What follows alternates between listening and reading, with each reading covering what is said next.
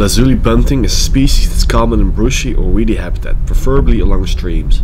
It is mainly found in low vegetation, but sinks from high in trees like this bird is doing. Unfortunately that light wasn't in my favor here because it's a gorgeous bird and this video doesn't do it justice.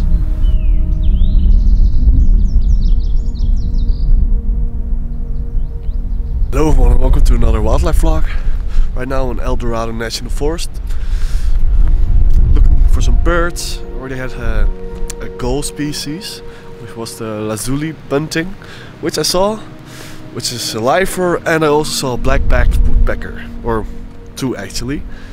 So uh, yeah, right now I'm just gonna hike some more, see what we'll find. So yeah, let's go.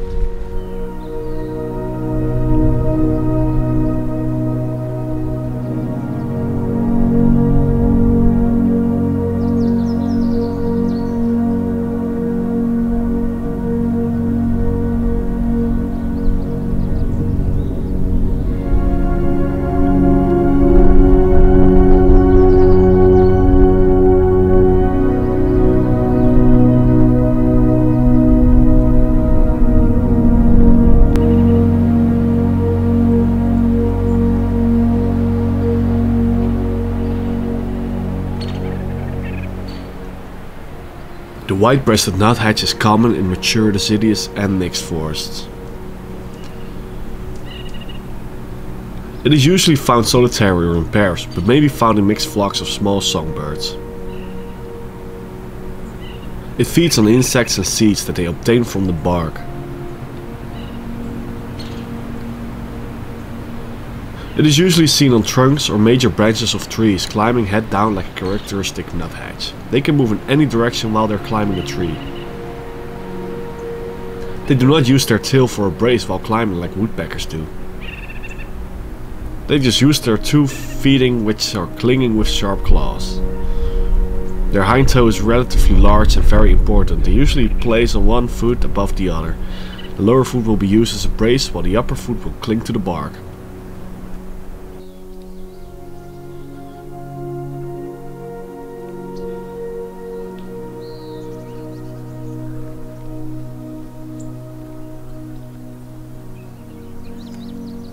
The black-headed grosbeak is common in mature deciduous woods, but can also be found in other wooded and brushy habitat.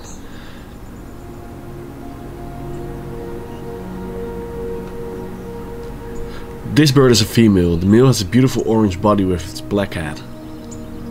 The female is recognized by its more yellowish color with the stripes on its face.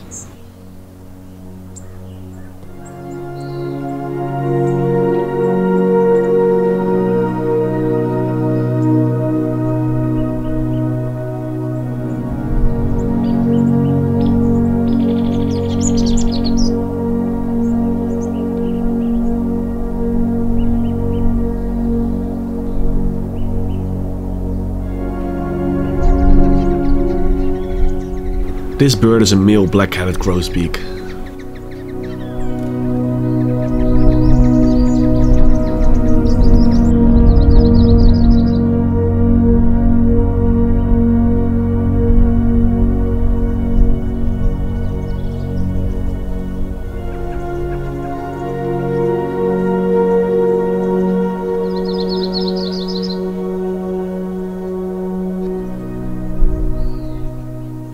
This hairy woodpecker is a juvenile.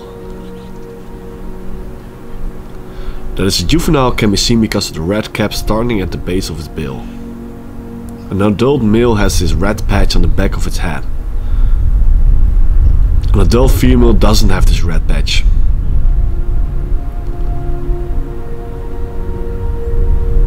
It's a very common species in North America.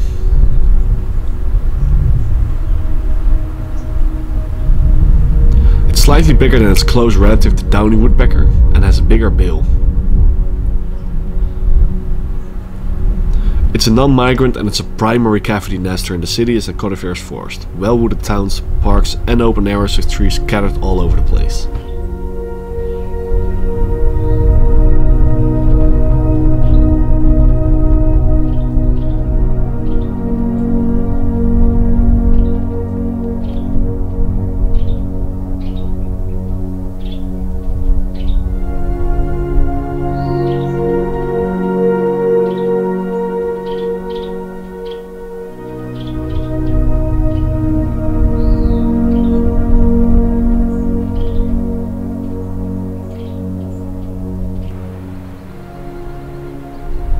Mule deer are polygynous, which means that the male will mate with multiple females during mating season. From November to February, the males will challenge each other to compete for the females. This will happen between males who are even in size and strength. The female will be gestating for 6 to 7 months and then one or two fawns will be born. This doe succeeded in bringing two beautiful fawns on this planet. The fawns are born in early summer. It's pretty common that there is a twin born after the first pregnancy. If they are still being nursed, the fawns will stay hidden during the day while their mother is out. They will join their mother after a few weeks on their adventures. They usually stay with their mother for the full first year.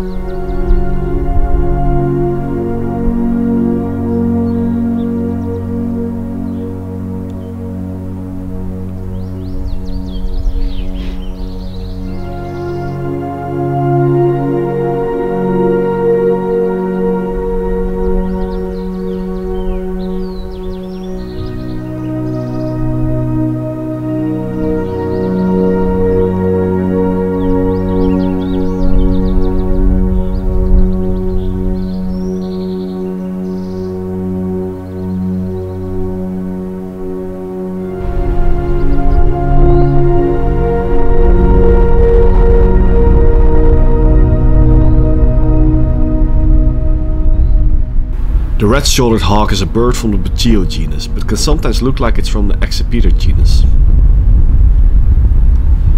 They return to their same nesting territories every year. One red-shouldered hawk has even occupied a territory for 16 years.